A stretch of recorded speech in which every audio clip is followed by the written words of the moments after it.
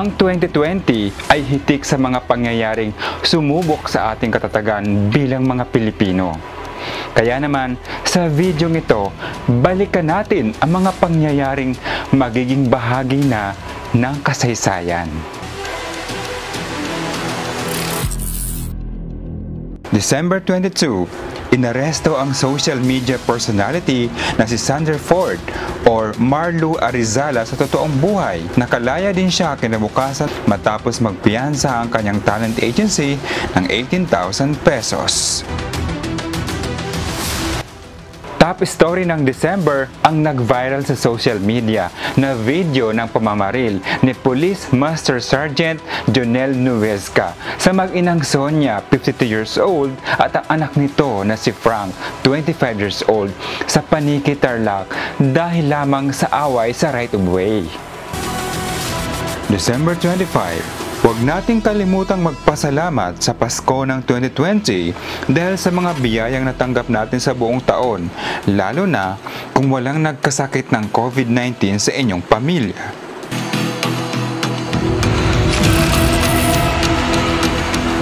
November 29, pumanaw ang singer na si April Boy Regino sa edad na 59.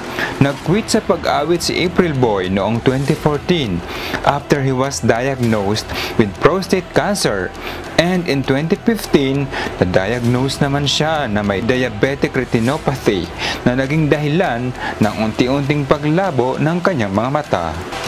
Naging malungkot naman ang pag-alala sa mga mahal sa buhay na yumao dahil sa pagsasara ng mga sementeryo mula October 29 until November 4. November 7, Nagwagi si Joe Biden at ang kanyang running mate na si Kamala Harris as President and Vice President sa US elections.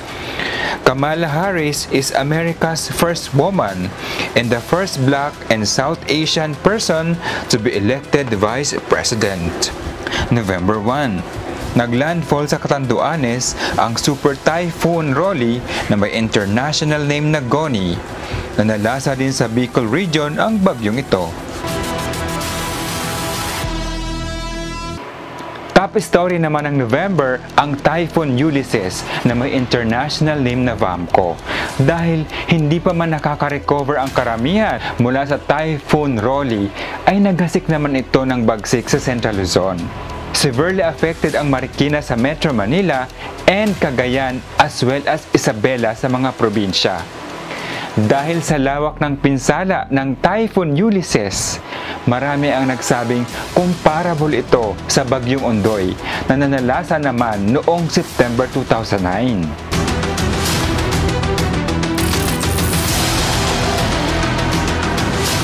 Top story naman na October ang formal na pag-start ng distant learning or online classes. Dahil na rin sa recommendation ni Education Secretary Leonor Briones na marami daw teachers and students ang may internet connection. However, nung nagsimula na ito, doon lumabas ang mga problema.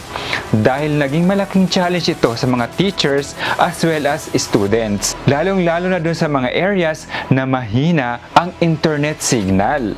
Naging problema din ng maraming magulang ang kawalan ng budget sa pambili ng internet-capable mobile phone.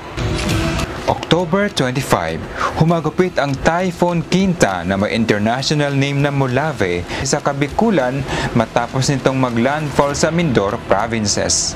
October 25 din nang manalo si Rabia Mateo as Miss Philippines Universe. October 1, nag-reopen ang malaparaisong isla ng Boracay sa mga turista.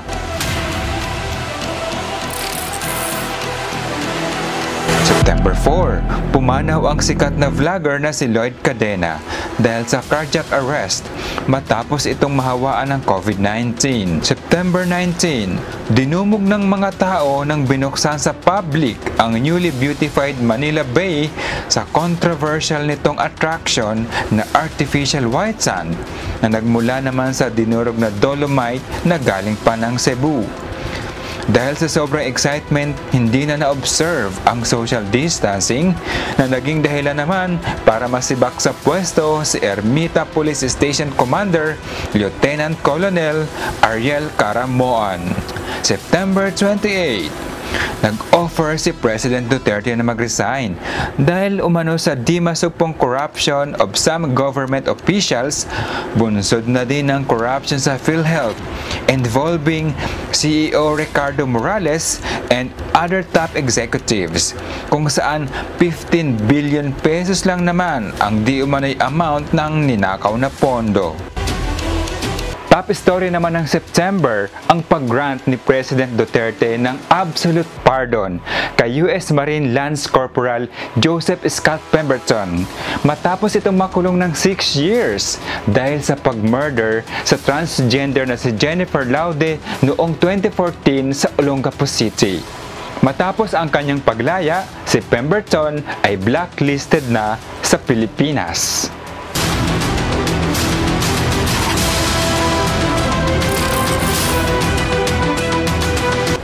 August 14 to 18, ibinalik ang MECQ sa Metro Manila at ilan pang nearby provinces dahil na rin sa time out na hiniling ng mga medical frontliners bunsod ng lumulobong COVID-19 patients sa mga hospitals.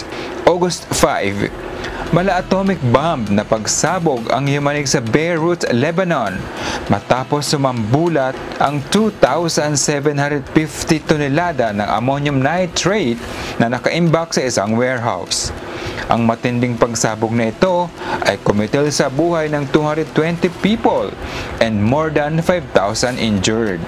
August 19, Inanunsyo naman ng DILG na hindi na required ang paggamit ng motorcycle barriers sa mag-asawang magkaangkas sa motorsiklo.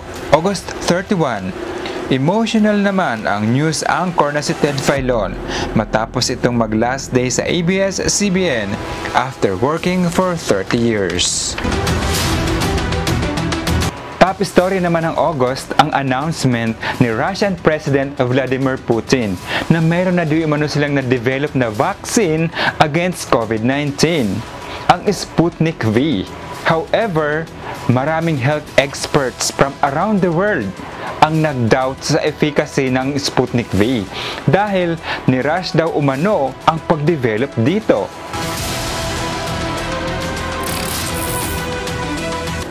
July 3, nilagdaan ni President Duterte ang Republic Act No. 11479 or the Anti-Terrorism Act of 2020 at formal na itong naging batas. Top story ng July nang ma-denied ang franchise renewal ng ABS-CBN dahil na rin sa 17 no votes and only 11 yes votes.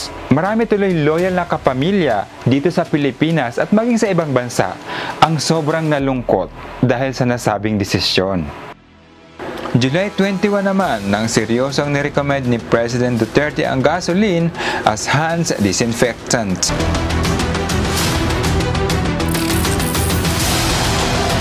June 1, balik GCQ ang Metro Manila But the lack of public transportation has been the biggest problem ng mga commuters. That's why many have resorted to the use of bicycles as an alternative way of transportation. Top story ng June ang panggagalaete ni Sharon Cuneta sa isang netizen named Sunny Alcos dahil sa pag-post nito ng opinion against Frankie regarding rape issue. June 3 Inulan ng batikos mula sa mga netizens ang dancer na si DJ Lunyo matapos ang mga pahayag nito about mass testing but eventually nagsorry din siya and according to him he was actually referring to clinical testing and not mass testing. June 5 Nag-reopen ang Quiapo Church at iba pang mga simbahan matapos ang more than 3 months na closure.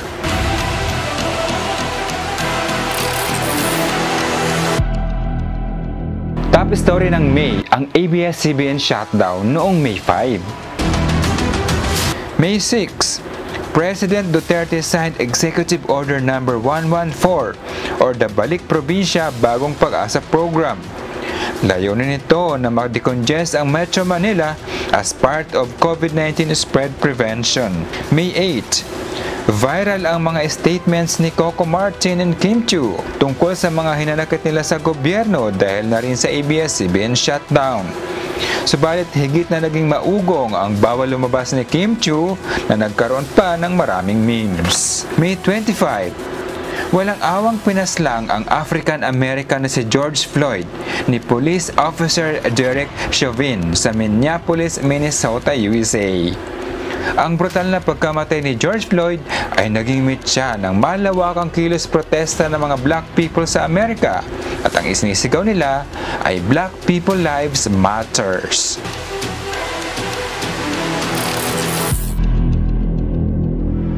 April 14, Inulunsad ang malawakang mass testing sa mga pinaghihinalaang COVID-19 cases. April 30, extended ang ACQ until May 15 sa Metro Manila at mga probinsya dahil sa mataas pa rin cases ng COVID-19. April 16, maraming nanawagan na mag-resign si Health Secretary Duque dahil umano sa kawalan ng kahandaan ng DOH na mapigilan ang paglaganap ng COVID-19 Subalit, nanatili naman ang tiwala sa kanya ni Pangulong Duterte.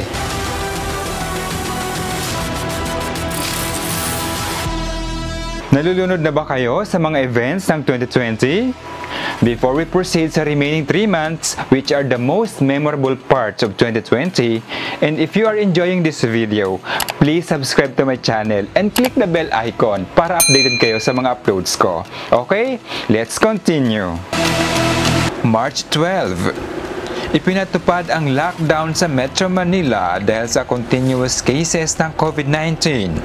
Ang lockdown na ito ay nagdulot ng labis na pangamba sa mga tao na naging dahilan pa nga ng panic buying ng mga foods and antivirus products like alcohol. March 17 Buong Luzon na ang naka-lockdown, not just Metro Manila. Sobrang higpit din ang paglabas sa mga bahay at nilimit lang sa isang tao per household and should be wearing mask.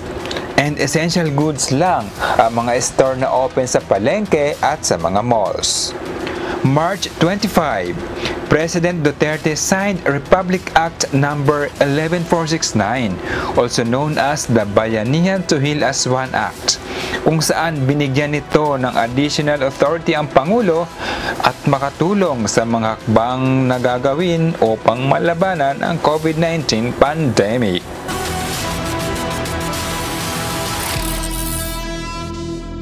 February 10, lumaganap sa Luzon ang African Swine Fever kung saan maraming baboy ang nangamatay at wala na halos kumakain ng karning baboy na nagdulot naman ng malaking pagkalugi sa hog racing industry.